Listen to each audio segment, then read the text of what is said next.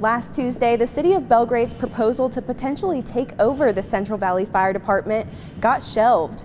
Now the station is trying to figure out what's next. You know, there's been a lot of a lot of tough conversations, kind of um, from you know from staff to staff, kind of still digesting the results of the mill levy. Jake Zalomi used to be the fire marshal for Central Valley Fire, but right now, he's the active fire chief, a role he's been filling since previous chief Lonnie Rash resigned on November 10th. His resignation came just two months after being on the job. He's the fourth fire chief they've lost since 2022.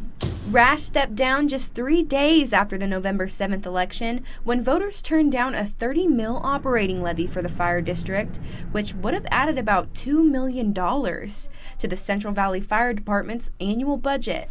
Um, we're learning a lot along the way, kind of during this period of, of transition for our agency between leadership.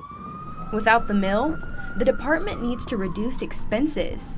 One idea the self governed station was leaning toward coming under the umbrella of the city of Belgrade. But on November 5th, the city withdrew its proposal to take over the Central Valley Fire Department to do more analysis, according to Zalomi's understanding. We contacted the city of Belgrade to learn more about their reason for withdrawing the proposal, but as of deadline, we have not heard back from them.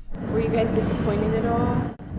You know, I think there, there was some mixed reaction. Um, you know, overall, our um, there's there's some advantages and some you know some some change, which is hard.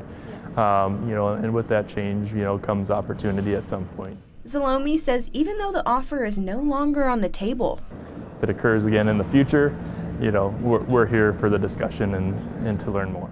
At Tuesday night's fire board meeting, they're scheduled to discuss the search for a new fire chief. Right now, we're, we're just kind of hoping to kind of move forward get leadership in here um, that's stable to kind of build build into the future.